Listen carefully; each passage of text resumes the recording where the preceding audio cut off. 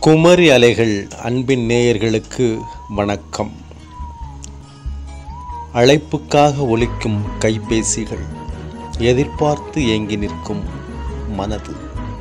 ஊமையாய் மாறிய உள்ளங்கள் அலையலையாய் கனவுகளுடன் ஏழை மனம்.